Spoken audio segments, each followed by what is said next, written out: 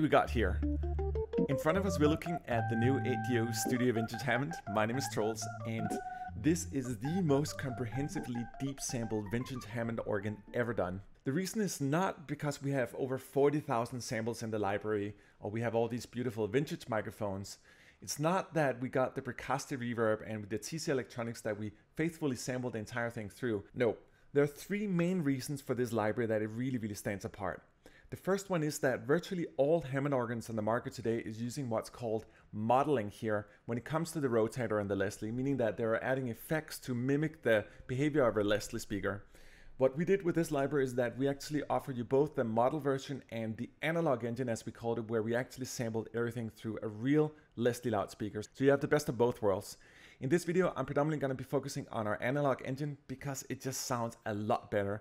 The Hammond organ, as you know, is a very dirty instrument. There's a lot of stuff going on. When the Leslie kicks in, you can even hear here when I like click the buttons here, there's a lot of noises associated to the instrument and that's the way we love it. So when I'm using the analog engine here, we actually have legato technology that will transfer you from non-vibrato into vibrato notes and will do that fluently. So there's a lot of stuff going on. That's sort of the first part of it. This is true Leslie samples and you have non-vibrato, you have transitional legato samples into vibrato and then you have vibrato. And of course, when you play your vibrato notes, you can do that. Let me just demonstrate really quickly what I'm talking about here. You're gonna hear me in real time switch between vibrato and non-vibrato using the analog engine, aka the real Leslie.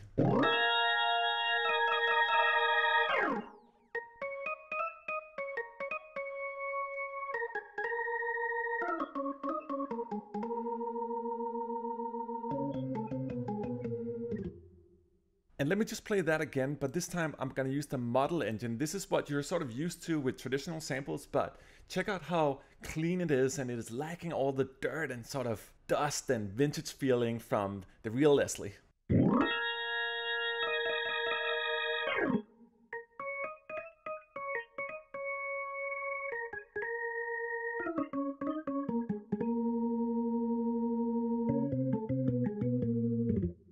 It's good, but it's not the same. The second reason this library stands out is that you have all the nine drawbars here and each of them are sampled individually. So when you want to dial in your sound, you can totally do that. Let me try to just um, play something super basic here where I'll play sort of a repeated note and then I'll trigger the different drawbars here so you can really hear how they stand apart. Like it's such a unique instrument and in order to really sample the right way, we had to sample each of the drawbars as well. And that also goes for each of the microphone positions and all that's reflected in it. But um, try to check it out here. It's really unique and uh, it gives you a good introduction to how the Hammond actually works.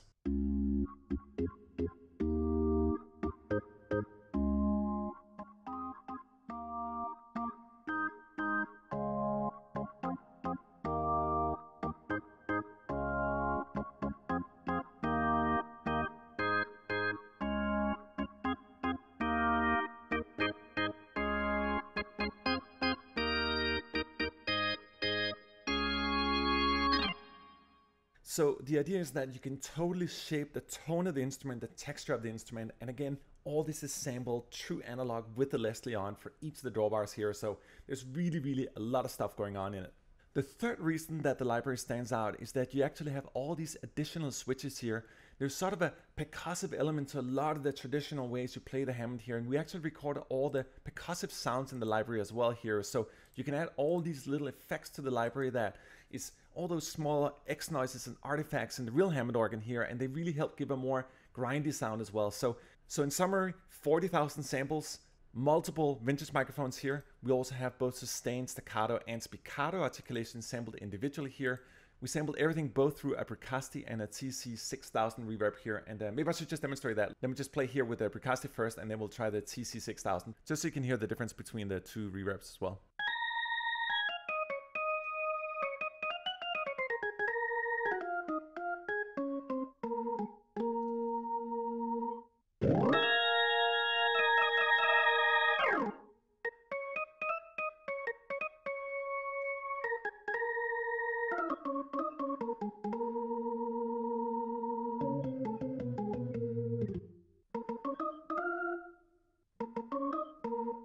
You know, I think with samples, often it's overlooked to record the soulfulness of the instrument. And to give you a little example of how we're trying to get around that with the Hammond organ and really get into the soul of the instrument, you have stuff like this here. just small things here, like when you turn on the motor here, you can actually hear the Leslie motor here if you really want it up in your mix, and you get that true analog feeling in it. And even when you switch it off here, like you still get all the little noises that are common for the instrument here. So uh, let me play something here. Um, let's turn the whole thing on here again. Uh, let's get the motor sound down a little bit here.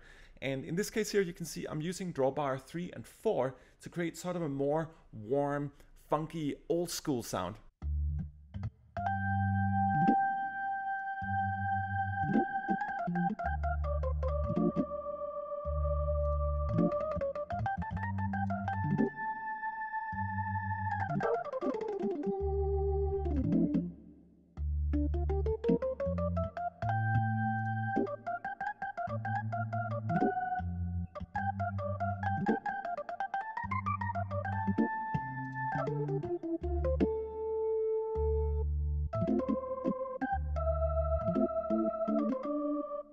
Let me try to play this again.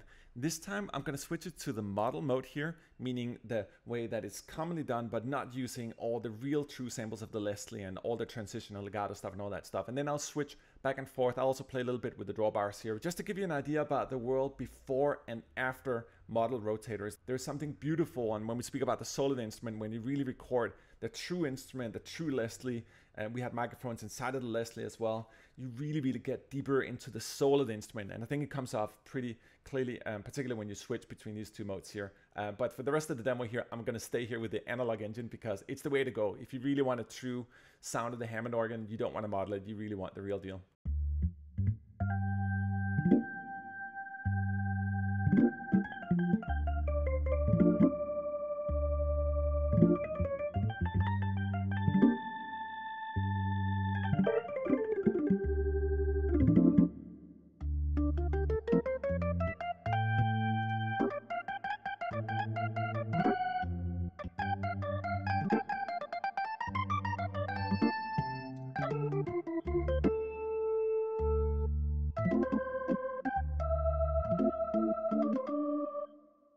That's why I'm saying like there's a before and after really using modeled and true Hammond samples here. It just has a grit, the dirtiness, the dustiness, the vintage vibe, the whole old school feeling.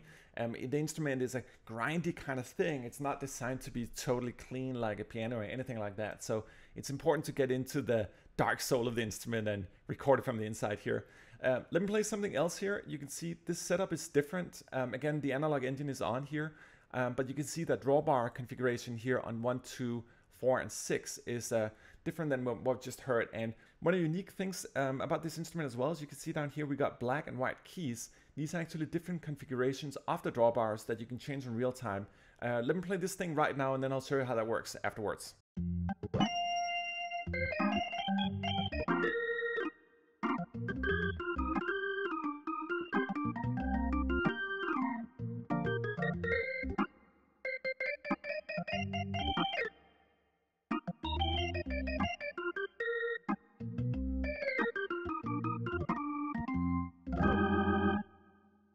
All right, so let me just play something in real time here. Um, I'll just repeat a couple of keys on the keyboard and then um, you're gonna see me switch the key switches down here. That's gonna alternate the drawbar positions here in real time. You actually have multiple options and it's kind of cool to do in real time to immediately change the sound if you're doing something where you need um, an immediate switch between the textures.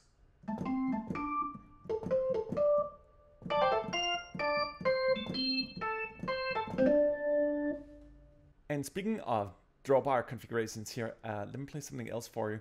And if you notice up here, you can see we both have sustained, staccato, and spiccato, and that really depends on your playing style. Sometimes you're gonna need those shorter notes to really do fast stuff, but for this next piece here, um, you can see this is a really different uh, drawbar configuration from the very low basses up to the very highest notes here.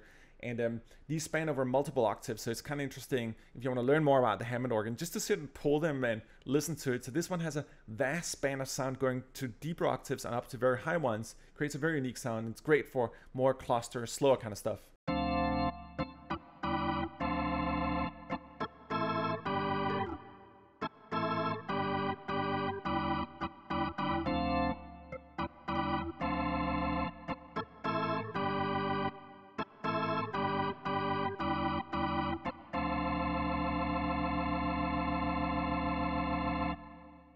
And for that preset, I actually went into our Chaos Effects and added some studio reverb. It's a little more dirty kind of reverb, but it works great with that sort of more old school sound. But again, um, have fun with the drawbars here. It's actually amazing how different it sounds. Uh, let me just trigger the same thing here again, and I'll modify the drawbars in real time so you can hear how quickly you can modify the sound.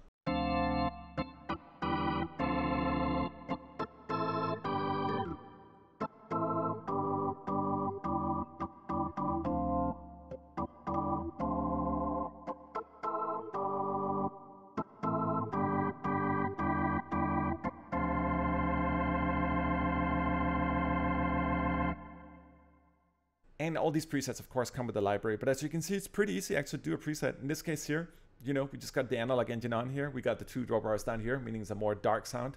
We have a little more vibrato on. And that's it. The drawbars really define the sound of the instrument here. Um, also pay close attention to how I'm switching between the chorus and the tremolo effect here. You can also see down here in the mod wheel. It's just great when you want to sculpt between that non-vibrato and vibrato sound. It's, it's a huge part of the aesthetic and the soul of the Hammond organ.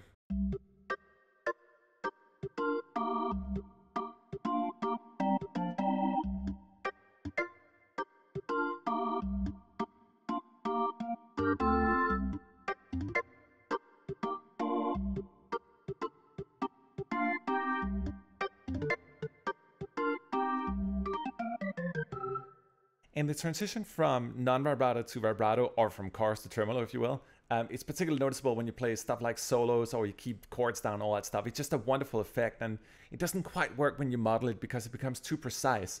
And again, that goes back to the sort of more non-linear behavior of a real Leslie speaker. Obviously, it has to kick in and start rotating, all that stuff. It's it's alive and it has a soul and a and a beating heart that doesn't always have a perfect pulse, but there's more life to it. Uh, let me just play a little bit solo here.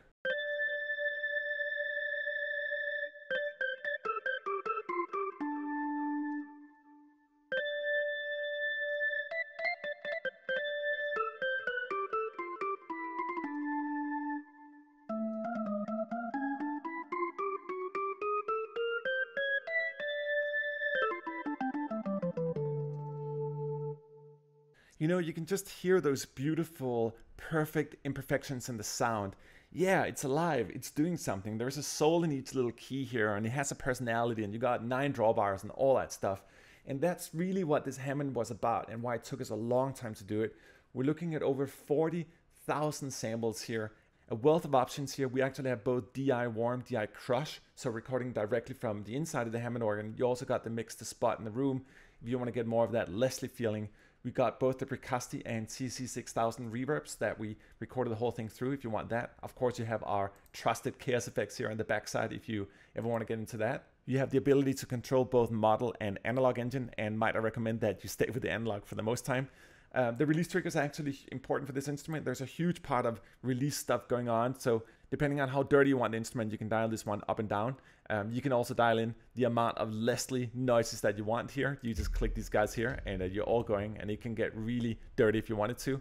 You have full control and these are all individually sampled drawbars. You have all the nine drawbars of the C3 but more importantly than all the fancy specs and all the 40,000 samples and all that stuff, it's actually just an instrument with soul. It plays like a real Hammond organ. It feels like it when you touch it on the keys. And that's what sets it apart. It's not just that we sampled, oh my God, another like vintage keyboard, but this one really has the soul. And we actually had two Leslie speakers when we recorded the instrument. One of them was active and the other one was not active. And that allowed us to record the instrument both with non-vibrato and vibrato from inside the speaker. And it really affects the sound when you use the analog engine. There's a variety of recording tricks that helped us sort of gain more of a true natural acoustic sounds with the instrument. So it's just an awesome instrument. If you're into Hammond organ, this is definitely the ultimate one. And uh, I can say with great pleasure now that we've done with it that we never ever have to go back and record this again. It's that comprehensive. This is the instrument of many, many decades to come uh, when it comes to really deep sampling um, an instrument in the most faithful and soulful way possible. So let me just play um, one little last thing here and uh, wrap it up and check out the website. We have a variety of more descriptions on it. Uh, we also have a variety of other vintage keyboards sampled with the same amount of passion and depth. So I encourage you to check those one out as well. This was Troels from 8Dio signing out here with the Studio Vintage Hammond organ.